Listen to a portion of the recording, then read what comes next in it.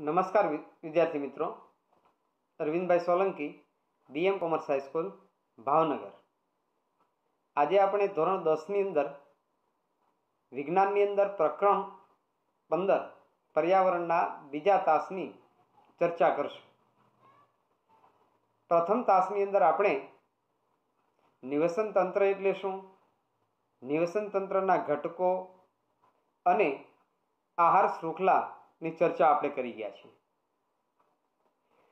અહીંયા આપણે વિવિધ આહાર શૃંખલા છે.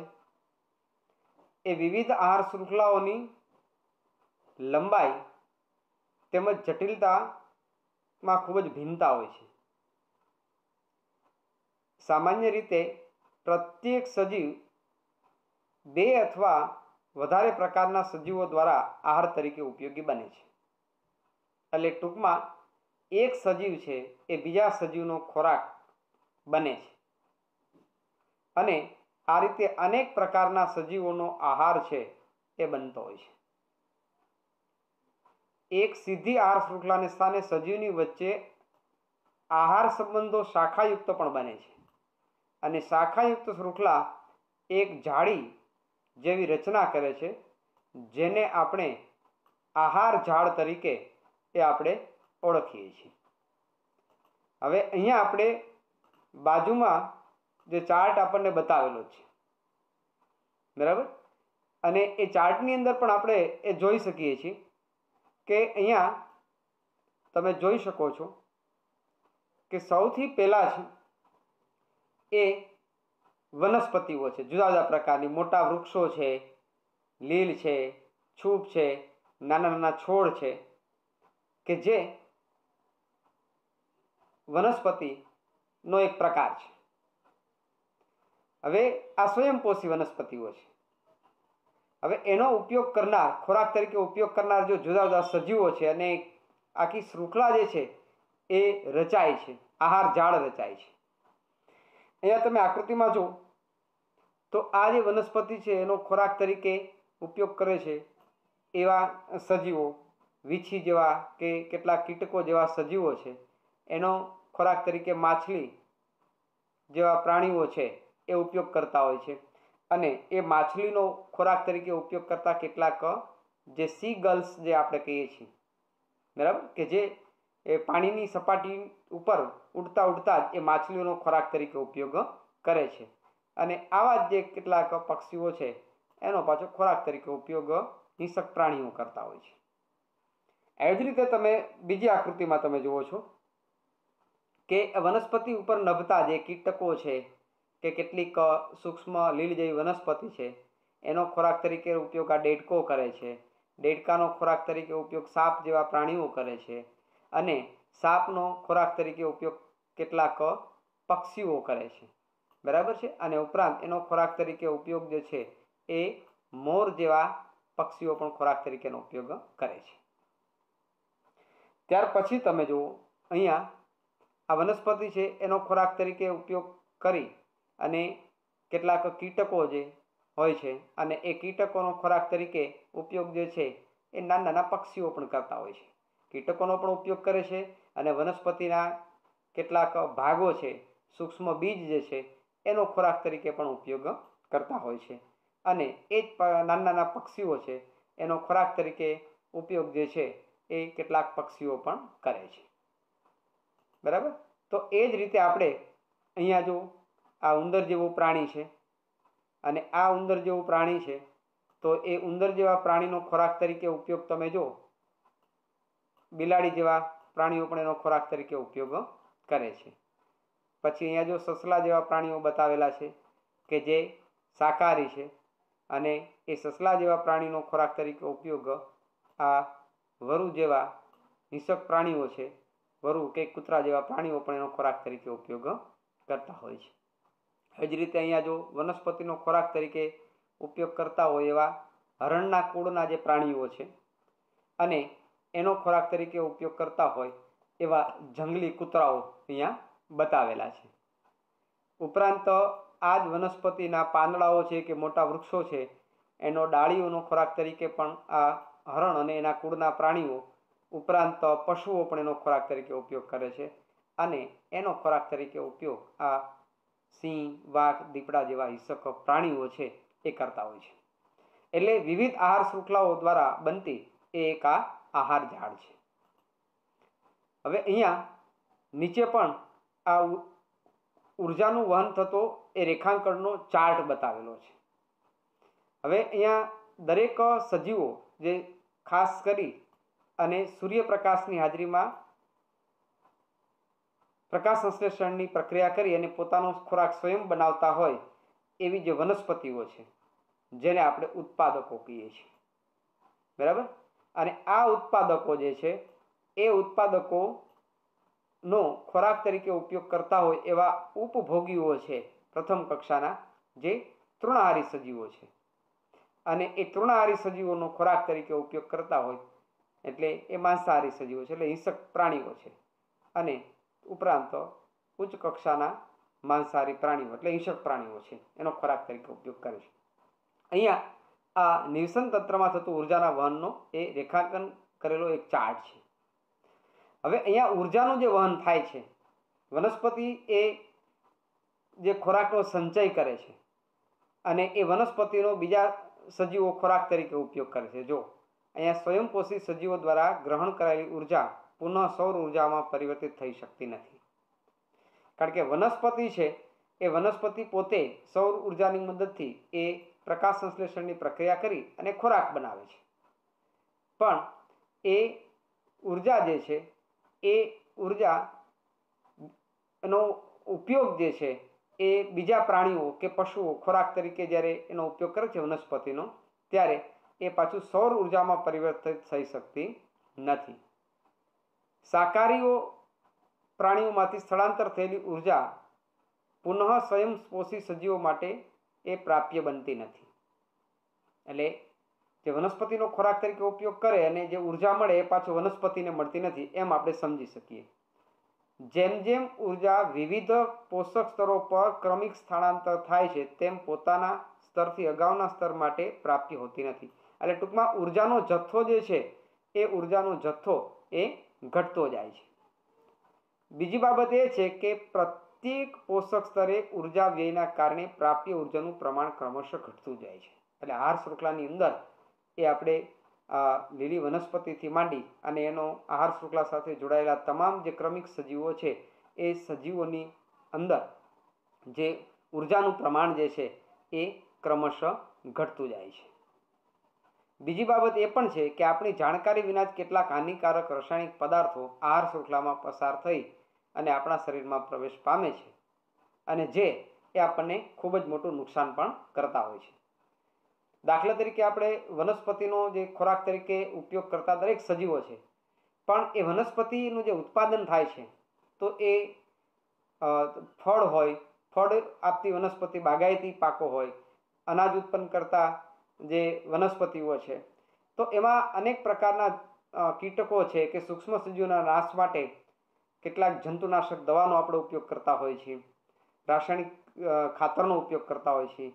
તો આ જંતુનાશક દવાઓ જે છે એ પણ એ જમીનમાં ભળી અને એ મૂળ દ્વારા એ વનસ્પતિની અંદર પણ દાખલ થાય છે. એટલે ટૂંકમાં એ આપણા શરીરની અંદર જે ખોરાક તરીકે વનસ્પતિનો ઉપયોગ કરીએ છીએ, એમાં કેટલાક હાનિકારક કહી શકાય એવા સજીવો એવા રાસાયણિક દ્રવ્યો જે છે એ ભળે છે, જે આપણને મોટું નુકસાન કરે છે. પ્રદૂષણ કેવી રીતે થાય છે? તેનું કારણ એ છે કે પાકને વિવિધ પ્રકારના રોગ તેમજ કીટકોથી બચાવવા માટે આપણે જંતુનાશક રસાયણોનો વધુમાં વધુ ઉપયોગ કરીએ છીએ. જેની આપણે વાત કરી. આ રસાયણો એ માટીમાં અને પાણીમાં ભળી જાય છે. અને એ માટી અને પાણી મારફત એ વનસ્પતિઓ દ્વારા પાણી તેમજ ખનિજોની સાથે શોષણ થાય છે. તેમજ જળાશયોમાંથી તે જલી વનસ્પતિઓ તેમજ પ્રાણીઓમાં પ્રવેશ કરે છે. આ રીતે તેઓ આહાર શૃંખલામાં પ્રવેશ કરે છે. એટલે વનસ્પતિની અંદર પણ પ્રવેશ કરે છે અને એ વનસ્પતિનો ખોરાક તરીકે ઉપયોગ કરનાર સજીવોમાં પણ ભળે છે.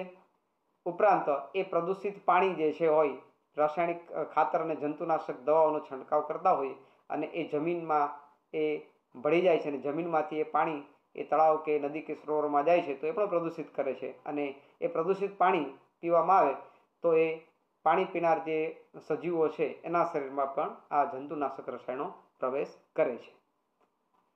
અને આ પદાર્થો જૈવિક અવિઘટની હોવાથી પ્રત્યેક પોષક સ્તરમાં ઉત્તરોત્તર વધુમાં વધુ સંગ્રહ પામતા જાય છે.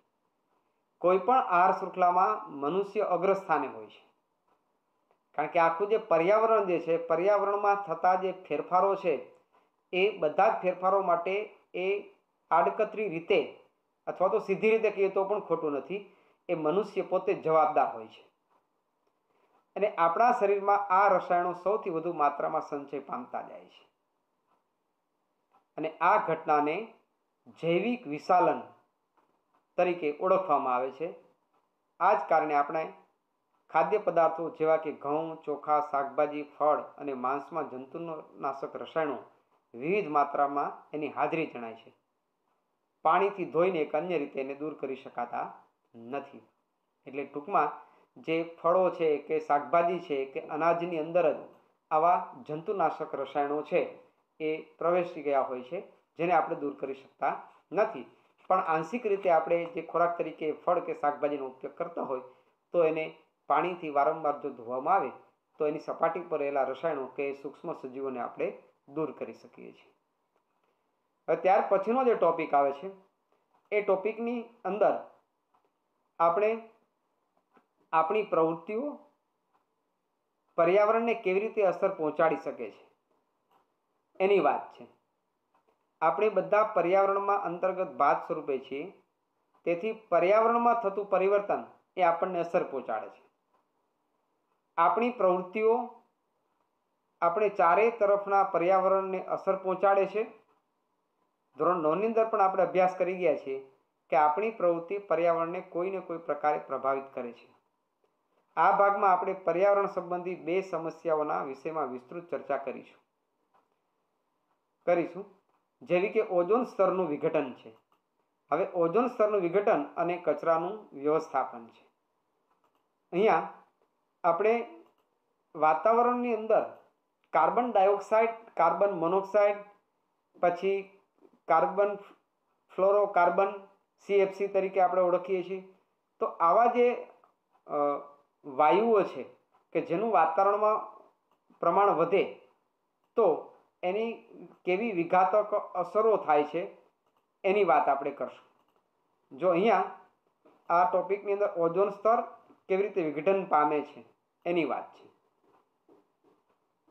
ઓઝોન વાયુ છે એ ની અંદર ઓક્સિજનના ત્રણ પરમાણુઓ છે. જ્યારે સામાન્ય ઓક્સિજન છે એમાં બે જ પરમાણુઓ છે એના અણુની અંદર. અને ઓક્સિજન છે બધા જ પ્રકારના જારક સજીવો માટે આવશ્યક છે. જારક સજીવો એટલે શું? કે જે સજીવો શ્વસન માટે ઓક્સિજનનો ઉપયોગ કરે છે. એ બધા જ સજીવો છે. એ જારક સજીવો છે. ઓઝોન એક ઘાતક વિષ છે. પરંતુ વાતાવરણના ઉપલા સ્તરોમાં ઓઝોન એક આવશ્યક કાર્ય સંપાદિત કરે છે. તે સૂર્યમાંથી આવતા પારજાંબલી અલ્ટ્રાવાયોલેટ કિરણોથી આપણને રક્ષણ આપે છે. ઓઝોન વાયુ છે અત્યંત હાનિકારક છે. અને એ આપણા મનુષ્ય માટે એ સ્કિન કેન્સર એ ઉત્પન્ન કરે છે. વાતાવરણના ઉચ્ચ સ્તર પર પારજાંબલી વિકિરણોની અસરથી ઓક્સિજન અણુઓથી ઓઝોન બને છે. અને ઉચ્ચ ઉર્જાવાળા પારજાંબલી વિકિરણો ઓક્સિજન અણુઓ એટલે ઓટોનું વિઘટન કરે છે અને સ્વતંત્ર ઓક્સિજન પરમાણુ જે છે એ બનાવે છે. અને આ સ્વતંત્ર પરમાણુ ઓક્સિજનના અણુ સાથે સંયોજાય અને ઓઝોન વાયુ છે એ બનાવે છે. હવે અહીંયા આપણે ઓક્સિજન છે વાતાવરણમાંનો ઓક્સિજન છે. એ પારજાંબલી કિરણોની હાજરીમાં આ ઓક્સિજનના અણુ છે એનું વિઘટન થાય છે.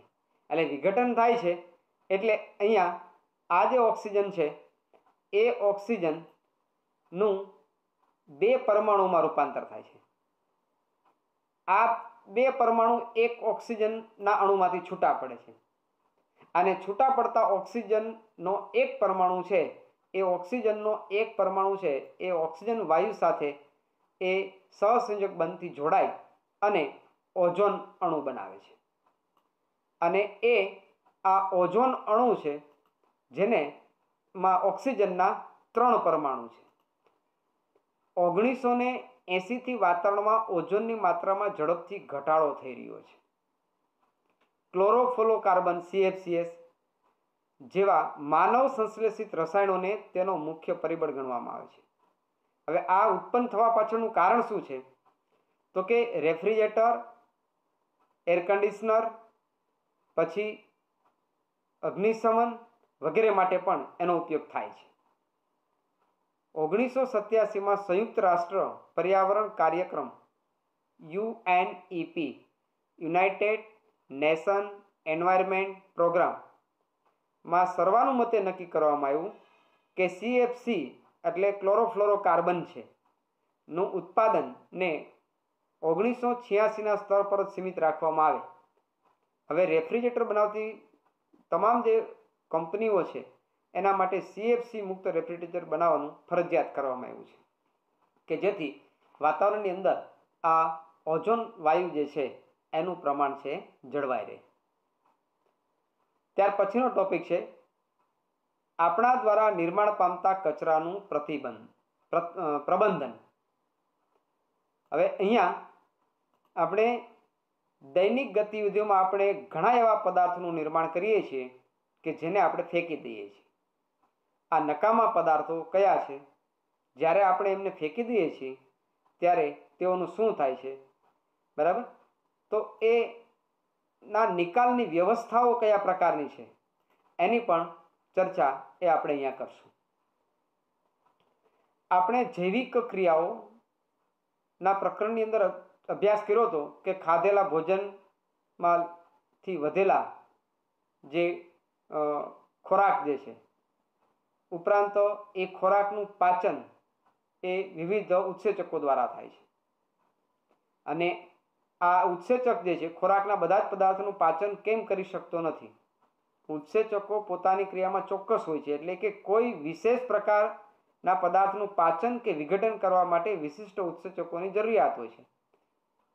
એટલે આપણા શરીરની અંદર જે ખોરાક જે છે, એનું પાચન એ માટે જવાબદાર એક પરિબળ ઉત્સેચક છે. હવે ઉત્સેચક શું છે? જેમ રાસાયણિક પ્રક્રિયાઓ હોય, તો એ રાસાયણિક પ્રક્રિયામાં જે ઉદ્દીપકનું કામ હોય છે, ઉદ્દીપક શું કામ કરે? કે રાસાયણિક પ્રક્રિયાઓનો વેગ વધારે અથવા તો વેગ ઘટાડે, પણ એ રાસાયણિક પ્રક્રિયામાં ભાગ લેતા નથી. એવી જ રીતે ઉત્સેચકો છે, એ જૈવ રાસાયણિક પ્રક્રિયાઓ થતી હોય, એટલે ખોરાકનું પાચન થતું હોય, તો પાચનની પ્રક્રિયાને ઝડપી બનાવવાનું કામ જે છે, એ ઉત્સેચકો કરે છે. એટલે અહીંયા એ ઉત્સેચકો છે, એ તમામ પ્રકારની એ જૈવ રાસાયણિક પ્રક્રિયાઓમાં ભાગ લેતા હોતા નથી, પણ કેટલીક રાસાયણિક પ્રક્રિયાઓમાં જ ભાગ લે છે અને પછી એ ખોરાકમાંથી ઊર્જા એ મુક્ત કરવા માટે એ મદદરૂપ થાય છે. એટલે જ જોઈ શું કીધું? કે કોલસો ખાવાથી આપણને ઊર્જા પ્રાપ્ત થતી નથી. એટલે કોલસોમાંથી શું? કોલસાને સળગાવીએ અને એમાંથી જે ઊર્જા મળે છે, ગરમી મળે છે પણ એનો ખોરાક તરીકે ઉપયોગ ન થાય. એ કાર્બનિક પદાર્થ છે. કોલસો છે. પણ એ જ કાર, એવો, એવું જ બંધારણ ધરાવતું કાર્બનિક પદાર્થ જે છે, એ વનસ્પતિનો ખોરાક તરીકે આપણે ઉપયોગ કરી શકીએ છીએ. અને એ વનસ્પતિના ખોરાક તરીકે ઉપયોગ કરીએ તો એના માટે જરૂરી ઉત્સેચકોની મદદથી એ આપણા શરીરમાં પાચનની ક્રિયા થતી હોય છે. આ કારણે પ્લાસ્ટિક જેવા માનવ નિર્મિત ઘણા બધા પદાર્થોનું વિઘટન જીવાણુ કે અન્ય મૃતોપજીવી દ્વારા થઈ શકતું નથી. આ પદાર્થ પર ભૌતિક ક્રિયા જેવી કે તાપમાન અને દબાણની અસર થાય છે, પણ સામાન્ય અવસ્થાઓમાં તેઓ લાંબા સમય સુધી પર્યાવરણમાં અવિઘટિત ઘટકો સ્વરૂપે રહે છે. ખોરાકના જે ઘટકો છે, વનસ્પતિના તમામ ઘટકો જે છે, એનું પાછું વિઘટન થાય. પણ પ્લાસ્ટિક જે છે, કાચ જે છે, એવા પદાર્થોને લાંબા સમય સુધી તમે સંગ્રહ કરો, તો પણ એનું વિઘટન થતું નથી.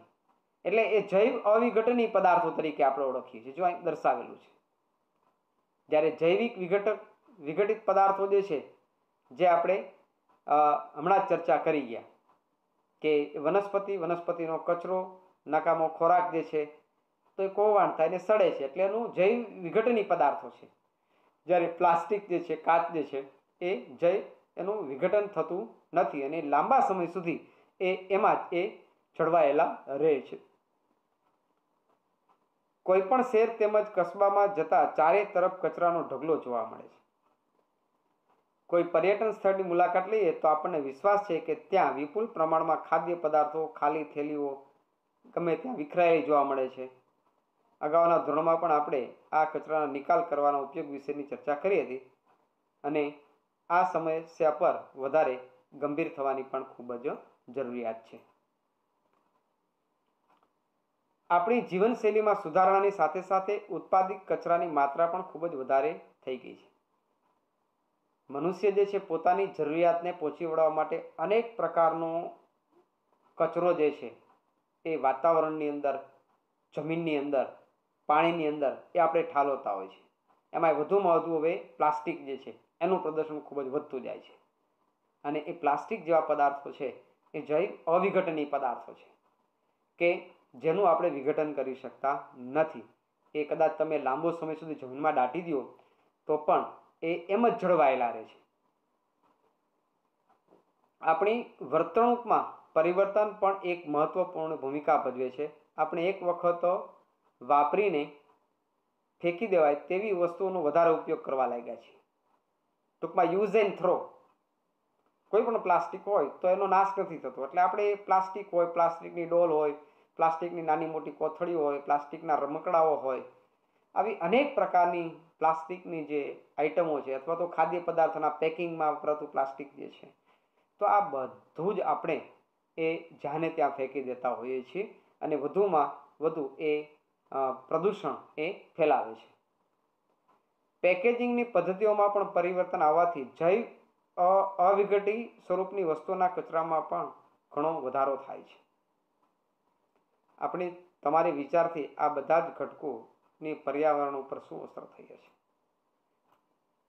વક્તવ્યની શરૂઆતમાં પહેલાં તાસની અંદર જ આપણે એ ચર્ચા કરી ગયા હતા કે આખું ગ્લોબલ વોર્મિંગ માટે જો કોઈ વિશેષ જવાબદાર હોય તો એ આપણે પોતે જ છીએ.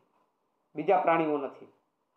આપણી પોતાની જરૂરિયાતો, ભૌતિક સુવિધાઓના સંદર્ભમાં અનેક પ્રકારનું એ જમીનમાં, હવામાં અને પાણીમાં એ આપણે પ્રદૂષણ ફેલાવેલું છે.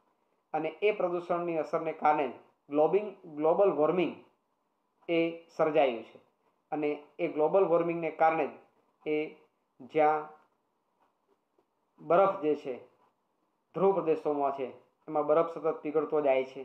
પાણીની સપાટી છે, એ પાણીની સપાટી પણ સતત ઊંચી આવતી જાય છે. ઉપરાંત જ્યાં ત્યાં આ પ્લાસ્ટિક જેવા કચરાનું ફેંકી દેવાથી ત્યાં પ્લાસ્ટિકને કારણે એ પ્રદૂષણની સમસ્યાઓ છે, એ પણ સર્જાતી હોય છે.